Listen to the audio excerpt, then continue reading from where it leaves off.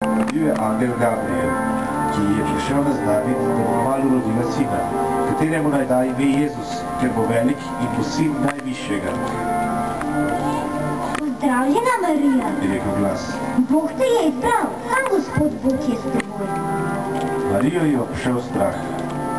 Repetala je in sploh ni vedela, kaj naj reče in kaj naj bi pomenile te besede.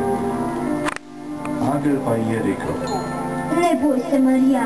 Tvojemu sinu bo Bog dal prestol njegovega prednika, kralja Davida, in kraljeval bo svojemu ljudstvu vekomaj.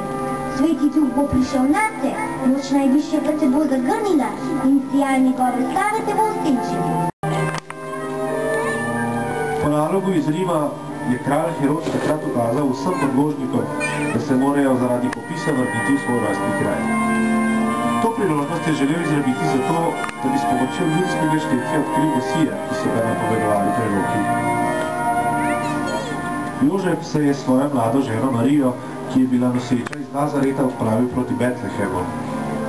Marija ni bila povsem prepričana, ali se lahko zanese na Jožefa na tako dolgi poti, saj sta se poznala le kratek čas.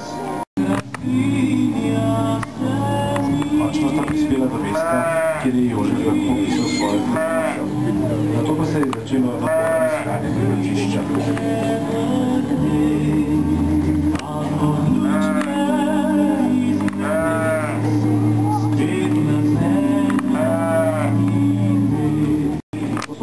さん、未来。ニーナも、ニーナも。あります。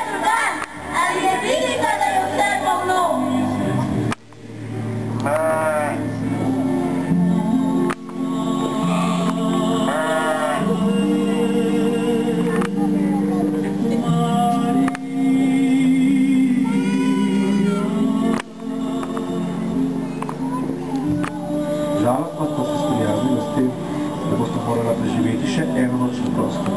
Boste srečala osamljeno penico, ki je imela tisti večer opravke še z zadnjimi kosi oblačil.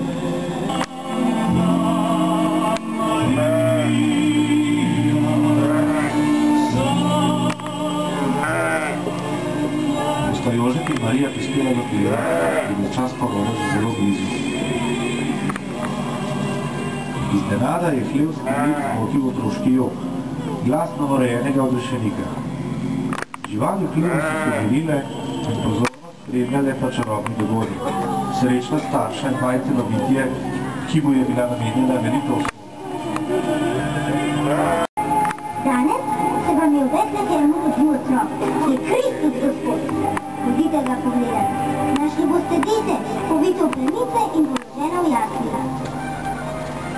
V tem hipu je v nočni tišini zagonelo angelsko petje. Slišati je bilo angele, ki so peli hvalnico, kateri so poveličevali Boga in se mu zahvaljevali. Peli so. Slava Bogu na višavah in na zemlji mir ljudem.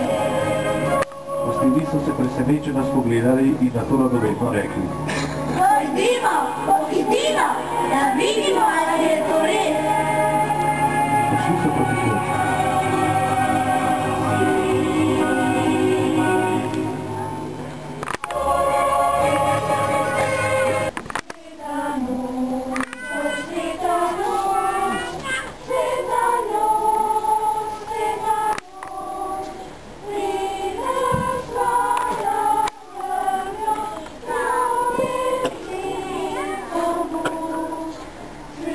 나무